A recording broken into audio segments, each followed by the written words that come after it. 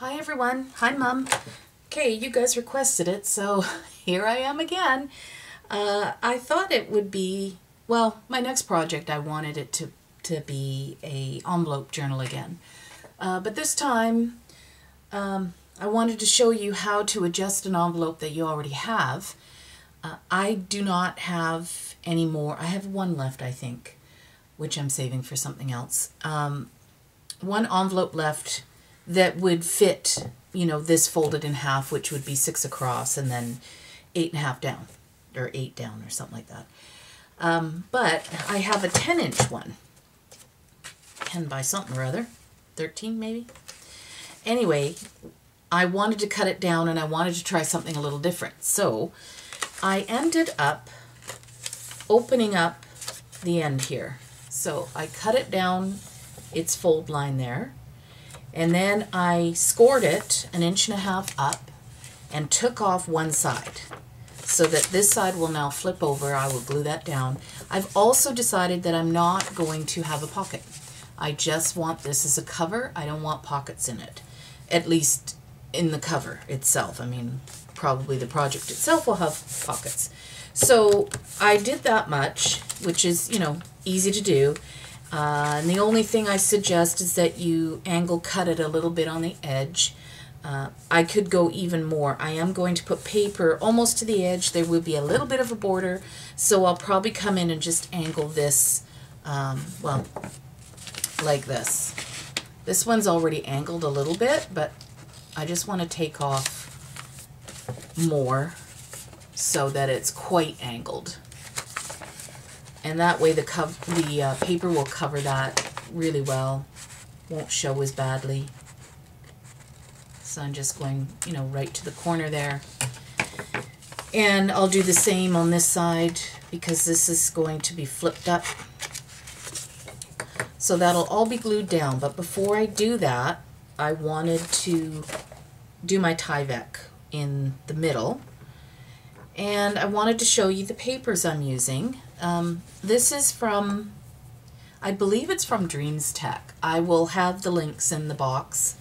Um, I think it's called wing winged things. So it's not just butterflies, it's birds and bees as well. I love the kit. It's beautiful and a little different for me because there's a little bit more, it's not, I guess it's a really pale cream color. It's not 100% white, but it definitely is lighter than I'm used to and I I don't want to coffee stain it because I believe my ink would run. But I did print, now this is from Ephemera's Vintage Garden, and I loved this. I thought it went really well. The coloring went really well. So I just put uh, journaling lines on all of the pages. Don't, I know Denise will love this page. Bees! I love it. And I did the exact same one on all of them. This one has the birds. And there's your butterflies. More butterfly. Well, that's a moth, actually. But isn't that pretty coloring? Really love it. There's another bee.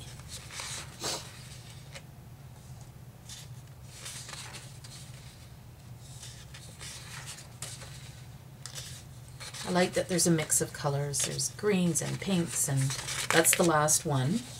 I'm probably going to be adding just tea-stained paper to this and probably some tissue paper, which I want to uh, tea stain up first. And uh, anyway, I wanted to show you the pages. So that's that. I'll set those aside. So this is how my Tyvek comes. I've shown this before, but it's an envelope style. This is what you would find inside a security envelope um, that gets mailed. So because it doesn't tear. So I open up the bottom here first. I have a video on just prepping your envelope for a cover, but you seem to like the start to finish, so I'm going to do that with all of my grace. okay, that's open, and then you just simply pull it open here It's just so I can get the best use out of the entire envelope. So I'm going to just cut that end part off. So I have a somewhat straight bottom. It doesn't have to be perfect because you won't see it. And, you know, sometimes my cutter just does not like this. So I'm going to hand cut it. Probably because it's single. It'll cut when it's double.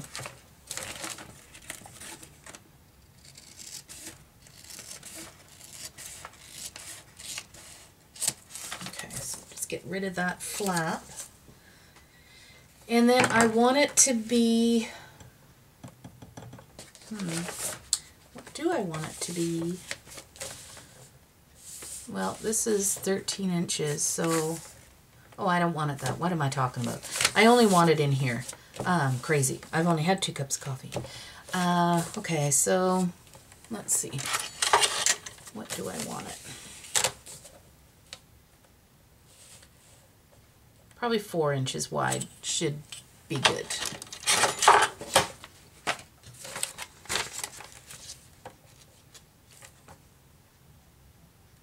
So I think what I'll do is cut it first at 8 inches because that's the height of my book. No, it's actually longer than that, I think.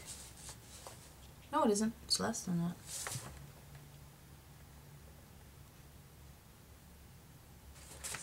This way, dummy. Okay. Yeah, eight and a half, I believe. Yeah, eight and a half. Okay. Let's see if it'll cut. Yeah, see, it cuts when it's double thickness. It just doesn't like the single thickness. Okay, so then open it up. And then I want it, well, I'll, I'll just cut it along that fold. That'll be plenty that it will give me. And my cutting skills are coming into play again. I'm so good at this. Let's see if it'll, uh, not really. Kind of, sort of. Ah, come on. You tell I love to cut. Okay, there's my piece. Now, of this. So because I've opened the bottom part here, I don't want to open this part. I could to make life easier, but I'm not going to. I'm just going to, you know, do it like this, kind of open it up and guesstimate, sort of. I'll just fold it in half and give it a crease. There is no up or down, really. It doesn't matter. So that's going to fit in there like so. And then, I wonder, yeah, that'll fit good. So when I cut this, this uh, piece out here, I went below my score line so that your side folds over easily. If you do it above the score line, then this is going to buckle like that. So you cut below the fold line so you can flip it up easy. Now, what I need is a brush and get the water out of it. And again, I think I'll use my, what do I use today? Let's see. Let's just use up my, um, this one is Art Minds Decoupage. I also got this one at uh, Michael's. And uh, it works about the same. So instead of trying to put it in that and making a mess, I'm going to use this and scrap piece of paper. And then I'm just going to cover it. And again you don't want it too goopy. But you don't want it too thin where it dries and then you end up not sticking You do it over the scrap, you can go right over the edge and nothing to clean up. Just move your scrap away.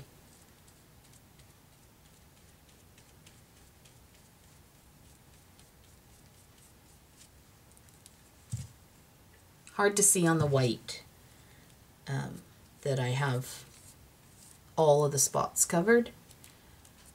And we'll soon find out. Okay, get that out of the way. Bring this back.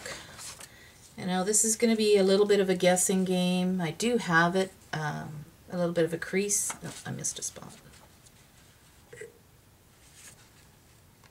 Okay. And just, let's get that out of the way. Going to sort of slide it in there. And it, it does, you know, have a little bit of workroom. It won't stick immediately. So you have time to sort of fix anything you might have gotten wrong. Now what I want to do is I'm going to take a piece of paper towel I'm going to put it inside over top. And then I'm going to take my brayer and I'm going to brayer it down.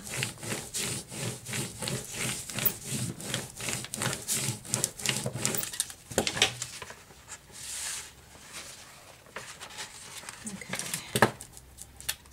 Yep. I knew I'd miss a spot or two. I always do.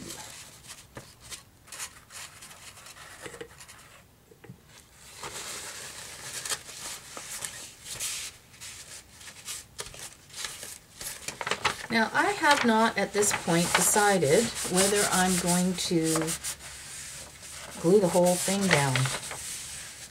If I do that, I'm pretty much guaranteed that I am going to miss spots. What should I do? I kind of think I really should and just do the best I can. But I think before I actually do that, I think the best thing to do is to put my, um, I should have, before I did this, put my um, gesso on here. So I will try and smooth that out best I can. Where did I put my, there it is. I'll use my bone folder.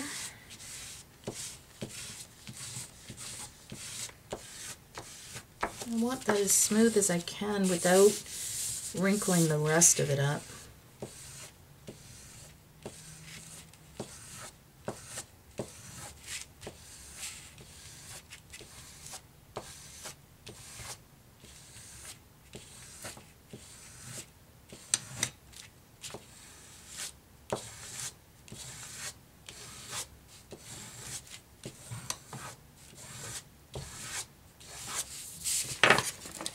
probably stuck that paper to there. Yep. Not badly though. It's still wet, so that's good. I just, I don't want to stick it down yet. That's why I'm taking this off.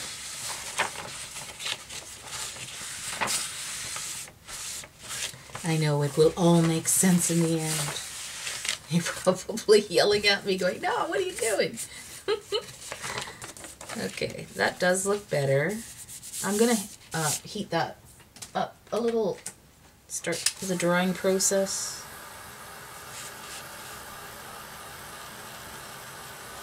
A lot of what I do, you guys, is experiment.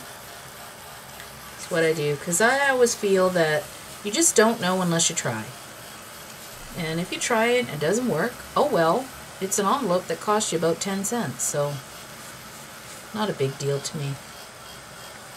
Lots of things I salvage anyway. Can usually do something with them.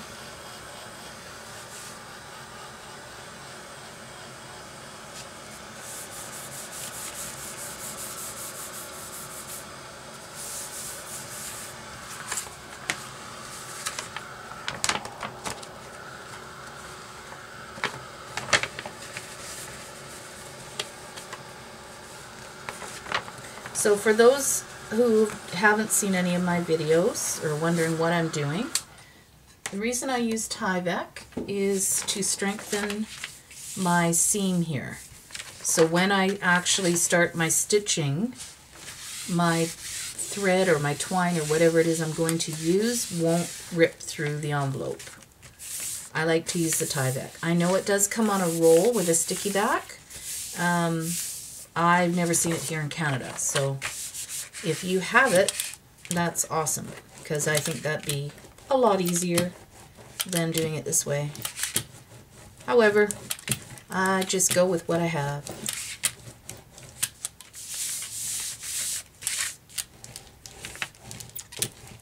I've gotten to that point where I have so many supplies that if I start a project and I don't have something, I don't go and get it. I improvise. It's just wasteful for me to not use what I already own. Okay, so there's my Tyvek. And now the next thing I want to do is uh, I want to put on my gesso. Gesso, for anyone who doesn't know, is what artists use to prepare their canvas to accept the paint better. Uh, gives it a tooth. Uh, also stops moisture from coming through. Let me just grab it. I didn't have it out. Oops, that's the wrong one.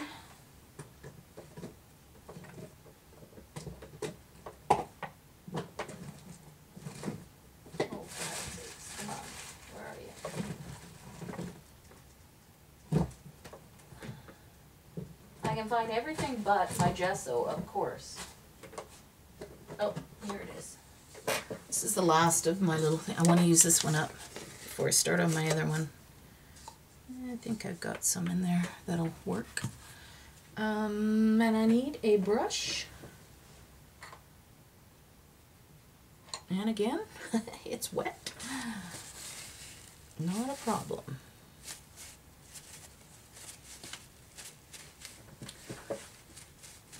So there's not going to be much happening in this one. It's just the prep work.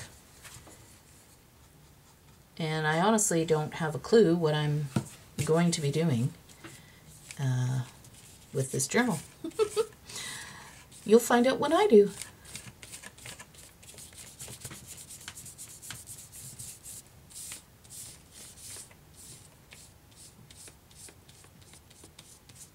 Now, if you're going to be using double-sided tape to adhere your papers down, you don't need to do this part. I don't use double-sided tape for the simple fact that it's really costly. It would take a lot of tape for me to be happy um, with the way it was laying down. Just going to spray some water in my um, gesso pot. It's getting a little on the dry side.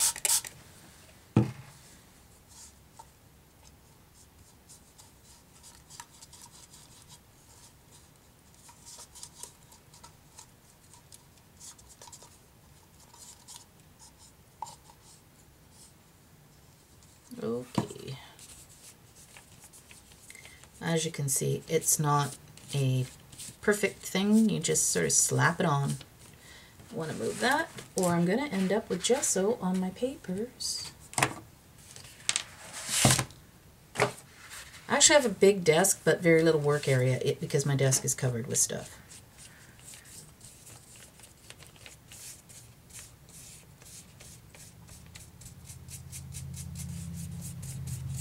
And you don't need to put it on as thickly as I have because mine is kind of um, thick.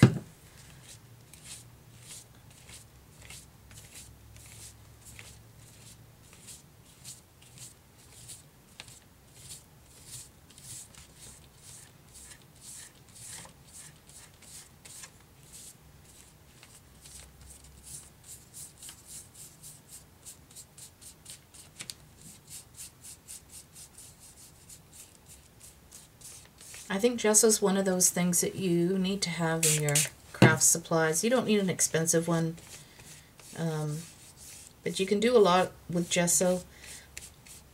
I, I really love the effect of doing a real thin, transparent uh, coat over book paper and then stamping on top of that. Really nice effect.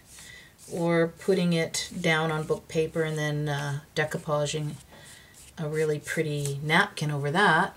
That's nice too.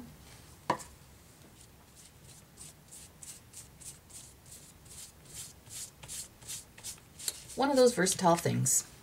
I have little fingerprints. Won't matter. Nobody will see them.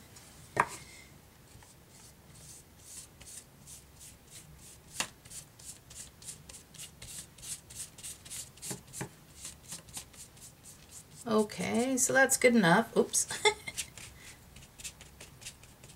Hard to hold when it's covered in gesso. Okay, going to heat that up, dry that.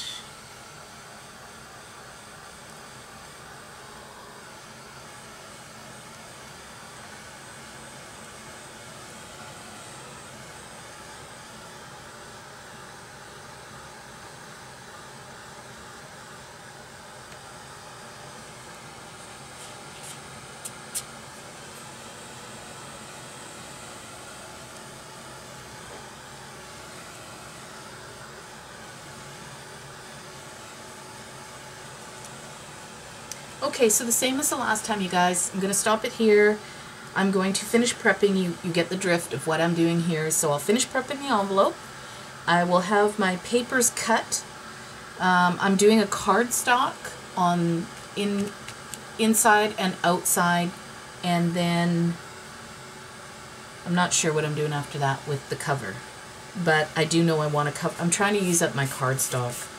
So um, I've decided to start covering my inside and outside with uh, coordinating papers, not from any digital kit, just uh, coordinating papers, just to get them used up, and it will really um, strengthen my book. So I will, um, I will have this all glued down on the inside as well, you guys. I'm going to, you know, just slap on the uh, decoupage on the inside and then just give it a really good brayer to squish it to every section and then make sure that that's nice and dry. So when I come back, the envelope itself will be prepped. Okay, thanks for watching. Bye.